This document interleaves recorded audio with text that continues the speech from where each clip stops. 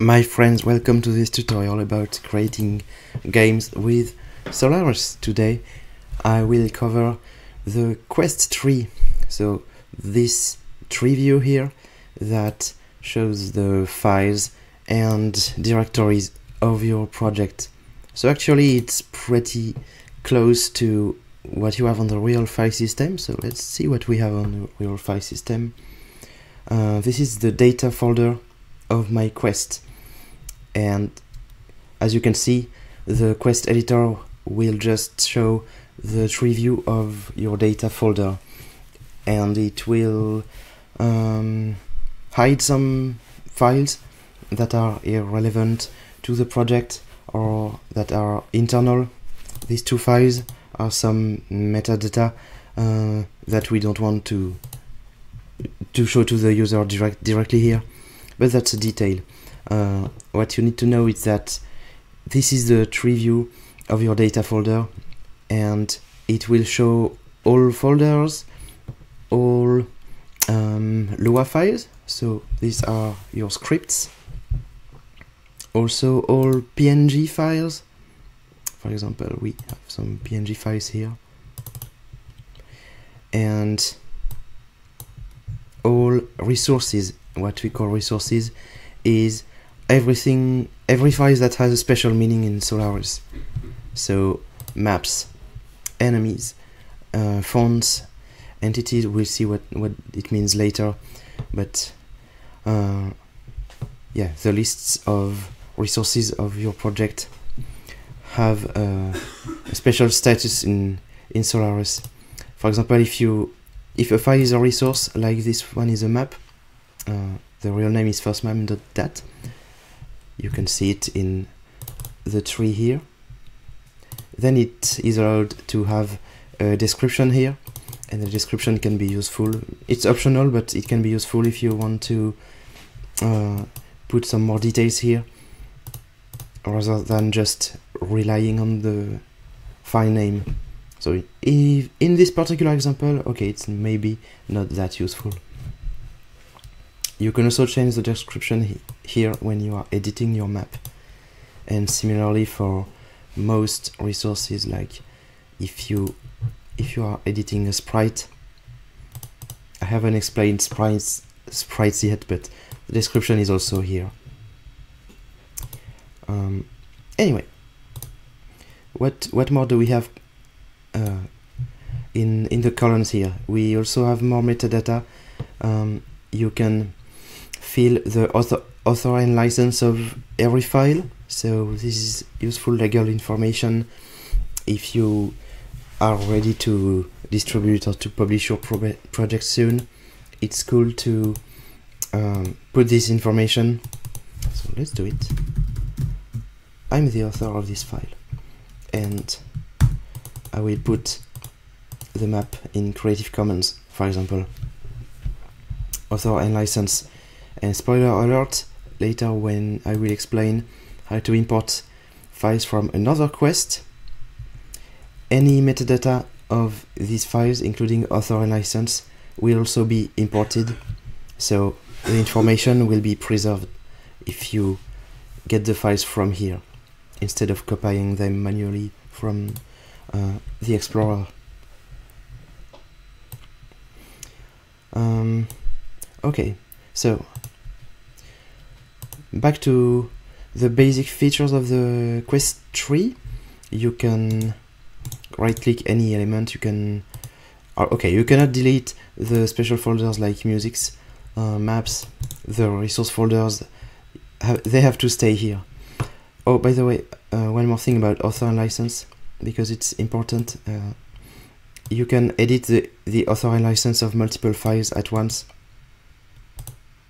and this is very very handy. Thanks to multiple selection. Uh, okay what was I going to explain? Mm, yes that you can uh, rename things delete things open things uh, from the contextual menu here. You also have keyboard shortcuts for most actions. Um, let's let's start by just creating a simple folder here. Hello. Okay what happened? We have the folder that shows up here as, here as expected and it was also created in uh, my on my disk. So really nothing special here. I could also have created it from the Explorer. Another one and it appears here. Okay. And uh, I will just delete them. Uh, hello. Or maybe maybe you can try to rename one. Hello 2 okay the change was reflected here so everything should be updated in in real time. If I rename it to hello again now it's called hello.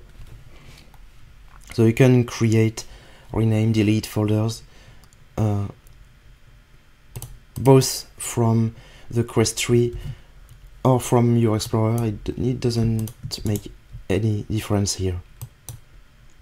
Same for Lua files. So by default you have um, this scripts folder which is really just a regular folder. It has no special icon. It means that the quest editor is not doing anything particular about it so same you can you can just create new uh, Lua files from the disk. Okay it's here. Rename them delete them both from the disk or from your uh, Solarus Quest editor window. It doesn't make any difference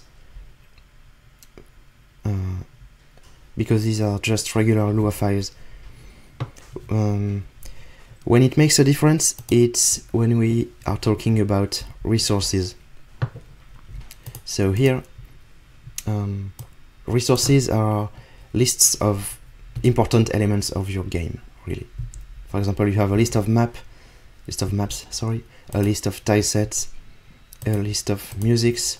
So resources can also be and, and should be uh, organized in subfolders uh, when you have a lot like sprites and the editor keeps keep tracks of what is declared uh, in your list of, for example, in your list of musics and your list of maps and your list of etc. for all types of resources.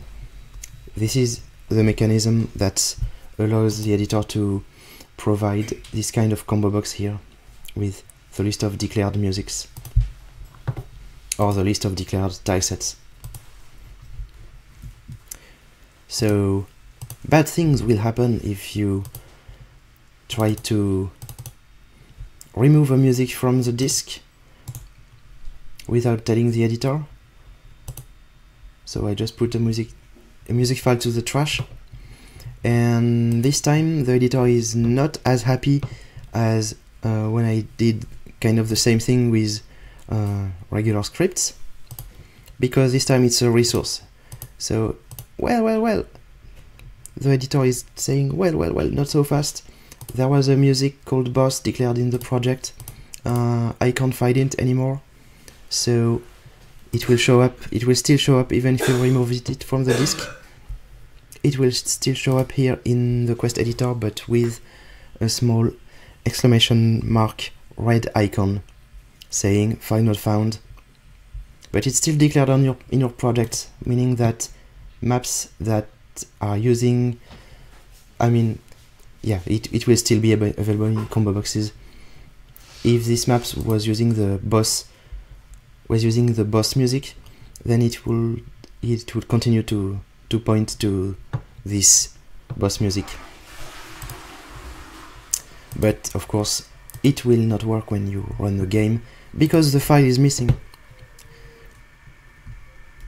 And the contrary is also possible, the, the opposite situation if you have a music file okay I created a copy here. So this time it's it's the opposite. I have some file in my disk and it's not declared in the project so it, it doesn't show up with the good resource icon here. Meaning that okay um, there is this file. It has the correct extension so it could be a music but it's not declared in the quest. And what you can do at this point is add to quest as music. Uh, and before you do that it will not show up in the combo boxes. After you do it it will yeah it's here. So I, I call it test. It's, the description that show that is shown here not the file name. Um, okay. So this mechanism is quite important to remember. It's the same for all kinds of resources. If something is if what is declared in the project is different from what is on the disk you will have uh, one of these two icons. So again I, I, I will remove this one so it's a good it, by the way when you remove a file for the reasons that I just explained especially if it's a resource file it's better to do the removal from the quest editor because it will also remove its declaration in the project so it was removed from the disk and from the project. It's no longer, I no longer have my test music here in the combo box. Okay. And maybe, maybe it's time to fix this mistake here. Uh, if I go to the trash, I will find it, restore, and and it's done. The quest editor was automatically updated, it detected that the file is back. So no more problems, no more weird icon. It means that uh, everything is in sync between what is declared in the project and what is on the disk, at least for musics. But the, the same rules apply to all resources. So enemies, entities, fonts, items, language, basically all folders that have a special icon maps, musics, not scripts, but shaders, sounds, and sprites. Okay. Um, so it's really good practice to make sure that you don't have any uh, mismatch between the disk and, and the quest uh, and change this from time to time. Normally when you create a new project you have a lot of files, especially in sprites, and everything should be declared correctly. Otherwise, it's a small bug that I will need to fix before the next release. And it's also true, it should also be true for all our resource packs. Uh, I will do other tutorials about how to import things from qu other quests and especially from resource packs. And I think you will be interested. But that's it for today. Thank you so much.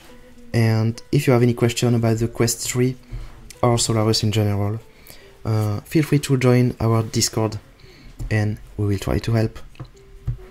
Thank you, and that's all for now.